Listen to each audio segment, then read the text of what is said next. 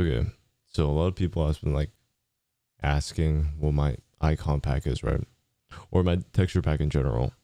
So for like just main menu and shit, I use um I use Troll Machine.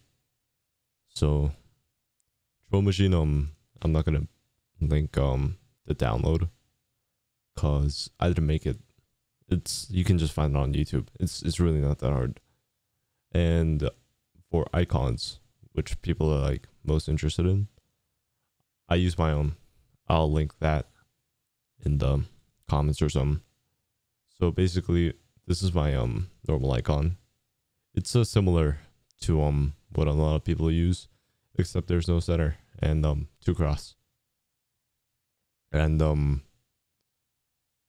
better gradient, I guess. I don't know. This is um my ship.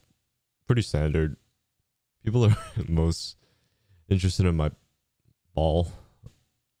It's it's it's kind of it's kind of weird. This is my UFO. It's it's pretty simple. What do you call this wave? So this is my wave. It's it's just gradient. But uh, this is my robot. So my robot's pretty standard gradient. It has an angry eye. I don't know.